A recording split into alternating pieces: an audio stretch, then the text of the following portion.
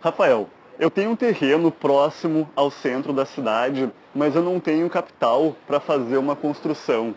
O que você acha melhor? Eu pegar um financiamento para construir ou você tem uma outra sugestão?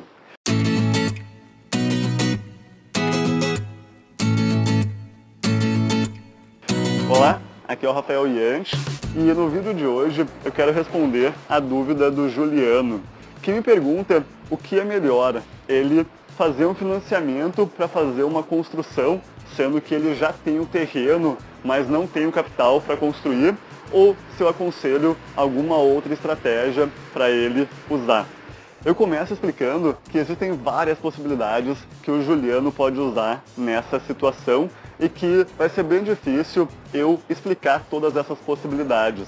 Então, se você quer realmente um material mais completo, eu sugiro que você clique no link da descrição desse vídeo para conhecer o método investidor completo, que foi o, o local onde eu consegui explicar com bastante detalhes todas as possibilidades que você pode ter ao investir em imóveis e ao investir na construção de imóveis.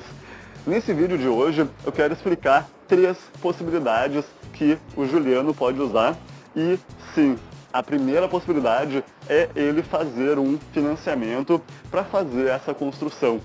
Mas para usar essa estratégia, eu sugiro que o Juliano tenha primeiro um certo capital para poder, primeiro, é, começar a construção, porque uma vez que tu faz um financiamento para construir, e existem várias linhas de crédito que você pode usar e o banco Caixa Econômica Federal é um excelente banco que pode emprestar e tem várias linhas de crédito para construção, mas é super importante que você tenha um certo capital, uma certa reserva de segurança para que você dê início à construção e também para que você possa usar uh, para fazer parte da construção que porventura não, uh, o capital do financiamento não seja suficiente para toda a construção.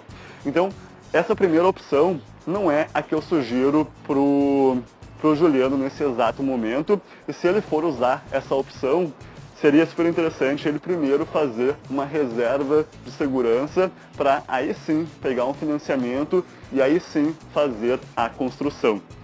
Segundo, Juliano pode muito bem encontrar uma construtora ou uma incorporadora e tentar fazer uma permuta do terreno dele por área construída.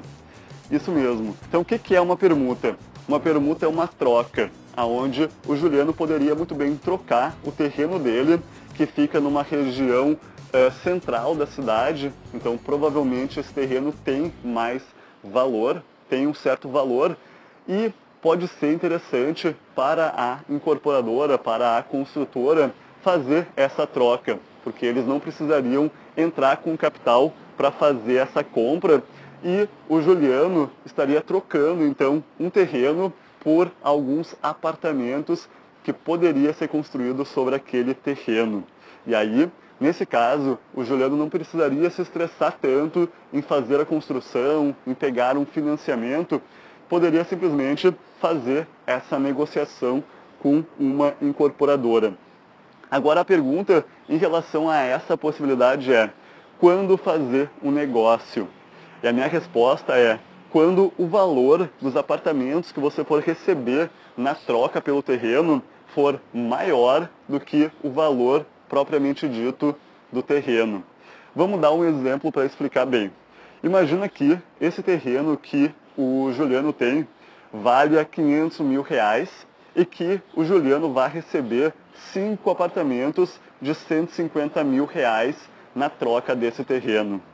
Nesse caso, esses cinco apartamentos valem juntos 750 mil e seria, na minha opinião, uma boa o Juliano fazer essa troca.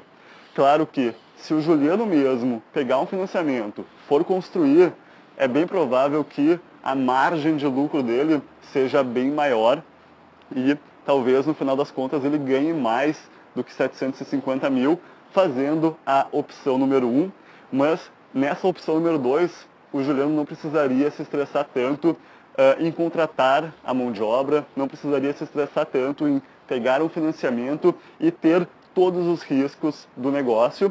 Nesse caso aqui, ele estaria dividindo boa parte dos riscos com a incorporadora e com a construtora.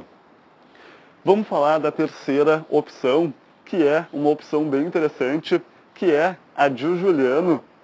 A terceira estratégia é montar um clube de investimentos em imóveis. Então, nesse caso, o Juliano poderia encontrar alguns investidores que tenham capital para investir, para que esse capital possa ser usado para fazer uma construção. E aí, ao invés de o Juliano buscar uma, um banco para injetar o capital na construção, ele pode buscar amigos, buscar conhecidos que tenham capital e que tenham interesse em investir em imóveis. E aí o Juliano entra com um terreno que tem um certo valor e os seus amigos, os seus parceiros do clube de investimentos podem entrar com capital. Então, vamos fazer aqui um novo exemplo. Imagina que o terreno do, do Juliano tenha um valor de 100 mil reais e que cada um dos participantes que vão entrar nesse clube injetam, é, colocam 100 mil reais para fazer a construção e que foram quatro parceiros que entraram nesse clube. Então, tem na mesa 400 mil reais. E aí vamos supor que com esse capital seja possível construir um prédio com cinco apartamentos ou que seja possível construir cinco sobrados. E aí cada uma das pessoas, cada um dos participantes, o Juliano mais os seus quatro parceiros, cada um fica com um apartamento ou com um sobrado. A pergunta que fica é, quando que vale a pena fazer esse negócio em relação a montar um clube de investimentos?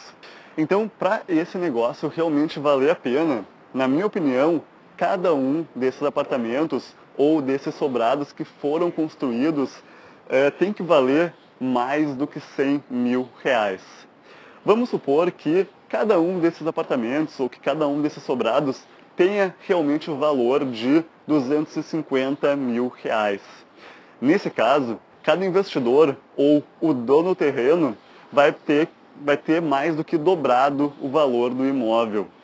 Claro que tudo isso vai depender muito do estudo de viabilidade que for feito sobre esse terreno e é, tudo isso você tem que fazer antes mesmo de fazer a construção. Bom pessoal, eu realmente espero ter ajudado o Juliano através desse vídeo. Eu realmente espero ter ajudado você, se for o seu caso também, onde você tem um terreno, mas você não tem o capital para fazer uma construção. Essas são três possibilidades que você pode usar. Você pode muito bem pegar um financiamento com um banco, você pode muito bem uh, encontrar alguma construtora ou alguma incorporadora que vai fazer a construção e você troca o seu terreno por área construída. E você pode muito bem tentar montar um clube de investidores que vai injetar capital para fazer uma construção e aí cada uma das partes vai ficar com um apartamento ou com dois apartamentos ou sobrados Aí vai depender o tipo de imóvel que vai ser construído. Então, na minha opinião, se você vai utilizar a primeira opção, que é de fato pegar um financiamento e você mesmo ir lá construir, você precisa ter uma boa reserva de emergência para poder, é, poder ir usando durante a construção, porque tem vários, vários detalhes em relação a pegar um financiamento que o banco pode demorar um tempo para liberar o capital. E aí você pode ir usando o seu capital próprio para ir fazendo algumas etapas. Então, cada uma dessas cada uma dessas opções que você pode usar nesse caso tem, claro, vários detalhes em relação a cada uma delas, mas eu não vou conseguir colocar tudo isso nesse vídeo. E se você quiser realmente mais detalhes de como fazer bons investimentos e de como usar essas estratégias para fazer uma boa construção, eu sugiro fortemente que você clique no link da descrição desse vídeo e conheça o método investidor completo.